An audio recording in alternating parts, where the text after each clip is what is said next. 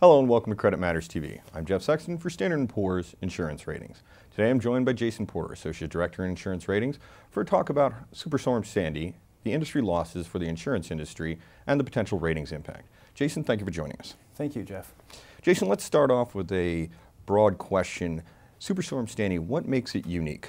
Superstorm Sandy was a combination of a hurricane and a nor'easter. And when these two storm systems combined, they created a much larger storm, which while uh, the wind speeds lowered to something less than a hurricane, the, the size of the storm greatly expanded, and it was almost a thousand miles in diameter, which really um, pushed a lot of water um, on, onshore and created a lot more destruction over a larger area of land than a typical storm would have.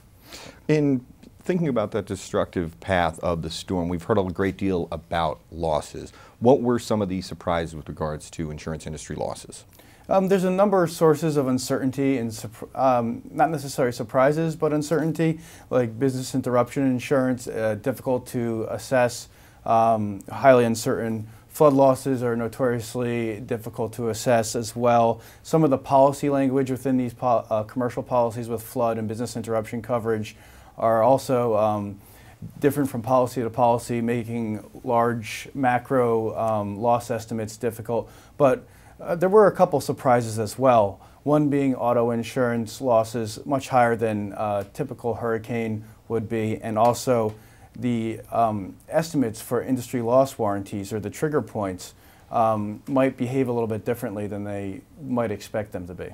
Well, we've heard a great deal about the losses uh, for the insurance industry with regards to housing and construction and physical structures. What have and how big are the losses for auto insurance with regard to industry losses? Well, we're estimating right now that losses could be at least $3 billion.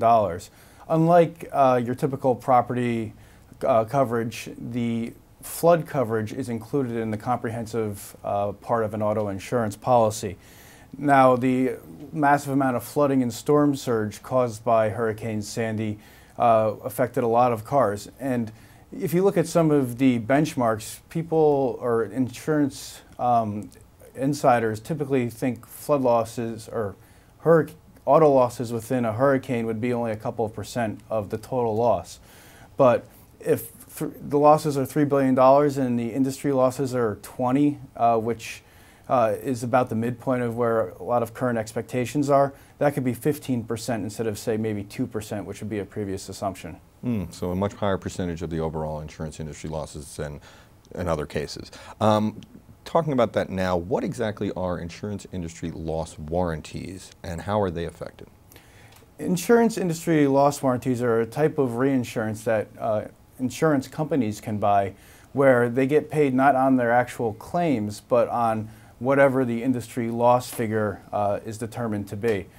Um, a typical trigger point for these contracts are about $20 billion and uh, the, one of the more common organizations to choose the official industry loss estimate uh, is Property Claims Services, uh, known as PCS. And uh, the one issue that has come to the fore with Sandy is that the large number of flood losses and, and the damage to a lot of infrastructure and to commercial properties uh, had, you'll see losses on insurance policies that were not written in the United States but were actually directly written by non-U.S. insurance carriers. Now PCS um, might not get all of that data because the methodology they use to come to their final loss figure might not include those claims and placed in, in from in policies placed in international markets. So what might happen is that the, act, the official figure might be lower than the actual losses. Now, with the $20 billion trigger point and the midpoint of the loss estimates coming in around $20 billion, uh, you know, a small difference in those estimates might be the difference between an insurance company getting reinsurance pains or not. Well, bearing in mind those points as well as the updated insurance industry losses numbers, what could be the potential rating impact?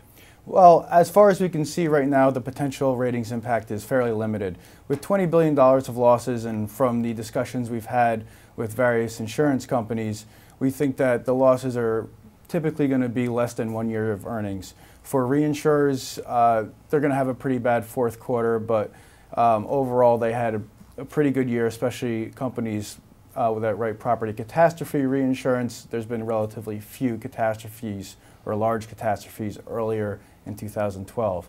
For insurance companies, the large national companies have very big balance sheets and very big books of business, and they could absorb this type of an event. Um, the regional companies that are focused in the Northeast region, they all see a little heavier impact, but so far we don't think that there's going to be a large number of regional companies that are going to be severely detrimented by Hurricane Sandy.